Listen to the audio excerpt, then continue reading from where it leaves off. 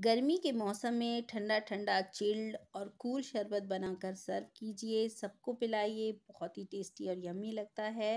Family, friends में और मुहर्रम के टाइम पर रिश्तेदारों में भी बनाकर बांटिए। सबको बहुत अच्छा फील करेगा और मिनटों में बनकर तैयार हो जाता है। प्रोटीन और फाइबर से भरपूर है। Hello friends, welcome back to my channel. आज हम बनाने जा रहे हैं स्ट्रॉबेरी फ्लेवर शरबत। शरबत बनाने के लिए मैंने यहाँ पर one tablespoon chia seeds लिए हैं। आप बेसल सीड्स का भी इस्तेमाल कर सकते हैं। इन्हें पंद्रह मिनट के लिए पानी में सोख करके रख दें। अब यहाँ गैस पर हम ले लेंगे एक लीटर दूध। मैंने फुल क्रीम दूध लिया है। आप ज़्यादा और कम अपनी ज़रूरत के हिसाब से कर सकते हैं। जैसे ही दूध में बॉयल आ जाएगा, हम फ्लेम को ऑफ़ कर देंगे और उसको ठंडा होने के लिए रख देंगे। अभी दूध हमारा गर्म है तो हम उसमें कुछ ड्राई फ्रूट्स भी ऐड कर रहे हैं, ये टोटली ऑप्शनल है। तो मैं यहाँ पर डाल रही हूँ टू टेबल स्पून बादाम, टू टेबल स्पून काजू, वन टेबल स्पून चिरौंजी। बादाम और काजू को मैंने बारीक बारीक काट लिया है, चिरौंजी को मैंने धोकर ऐसे ही ऐड किया है। इससे बहुत अच्छा फ्लेवर आता है, आप ज़रूर ऐड करें। अब हम दूध को ठंडा होने के लिए रखते हैं। तो इसे पंद्रह से बीस मिनट लग जाएँगे। तो अब मिलेंगे पंद्रह से बीस मिनट के बाद। तो ये देखिए फ्रेंड्स पंद्रह से बीस मिनट के बाद हमारा दूध अच्छे से ठंडा हो चुका है। बहुत अच्छे से ठंडा हो गया है। तो मैं इसमें से दो बड़े चम्मच दूध अलग एक बाउल में कर रही हूँ। क्योंकि मैं यहाँ पे एक स्ट्रॉबेरी फ्लेवर में शरबत बना रही हूँ और मैं उसका पाउडर इसमें ऐड करूँगी। अगर मैं उसे पूरे दूध में डाल दूँगी तो उससे उसे लम्ब पड़ सकते हैं। तो इसीलिए पहले हम थोड़े से दूध में इसे अच्छे से मिक्स कर लेंगे। वन, एक गिलास के लिए two tablespoon powder add करेंगे। इसमें शुगर एडेड है तो हमें अलग से ऐड करने की बिल्कुल भी ज़रूरत नहीं है।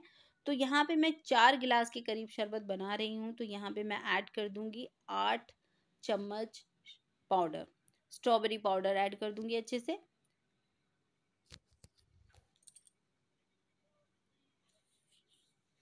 तो ये अच्छे से इसमें डाल दिया फ्रेंड्स अब इसे विस्क की मदद से इसमें अच्छे से मिक्स कर लें। इससे क्या होगा कि इसमें कोई भी लम्स नहीं पड़ेगा, ये अच्छे से मिक्स हो जाएगा। फ्रेंड्स अगर आपको हमारी वीडियोस पसंद आती हैं तो लाइक करें। ज़्यादा से ज़्यादा शेयर करें, चैनल पे नए हों तो सब्सक्राइब करें, बगैर ना जाएँ, बेल आइकन को प्रेस कर दें, ताकि जब भी कभी हमारी नई वीडियो आए, उसका नोटिफिकेशन सबसे पहले आपको मिले। तो ये अच्छे से मिक्स हो चुका है। अब इस सारे पाउडर को जो हमने मिक्स किया है, इसे मिक्स कर देंगे सारे दूध में, जो आसानी से मिक्स हो जाएगा। ये देखिए तो ये अच्छे से मिक्स हो चुका है फ्रेंड्स। अब इसको चम्मच से चला लें। नीचे भी बैठ जाता है तो इसे अच्छे से मिक्स कर लें। काफ़ी अच्छा कलर हो गया है इसका।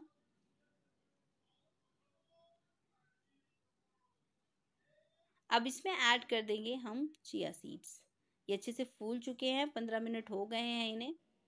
तो इन्हें इसमें डाल दें। ये देखिए, इसके डालते ही इसका जो फ्लेवर है कितना अच्छा लग रहा है, ये बहुत हेल्दी होते हैं। तो ये बहुत अच्छे होते हैं। शरबत में डालें इसका जो जो इसकी तासीर है, इसका जो फ्लेवर है, वो भी बहुत अच्छा आता है। इसके साथ ही इसमें ऐड कर दे आइस। आइस में मैंने फ़ूड कलर ऐड किया है, पिंक फ़ूड कलर ऐड कर दिया था मैंने पानी में और फिर मैंने फ्रीज़र में उसे फ्रीज़ होने के लिए रख दिया था। तो यहाँ आइस में जो कलर आया है, उससे देखिए शरबत का कलर कितना अच्छा लग रहा है, कितना फ्लेवर लग रहा है। इसके साथ ही इसमें ऐड कर सकते हैं आप रोज़ वाटर या केवड़ा वाटर, उससे उसकी फ्रेगरेंस बहुत अच्छी होती है। क्योंकि पाउडर में एडिड था तो मैंने अलग से ऐड नहीं किया है। आप चाहें तो ऐड करें, उसकी खुशबू बहुत अच्छी आती है। फ्रेंड्स, शरबत बनकर तैयार हो चुका है। फैमिली फ्रेंड्स में शेयर कीजिए। हम मिलेंगे नेक्स्ट वीडियो में। तब तक के लिए अल्लाह हाफिज़। Thank you for watching.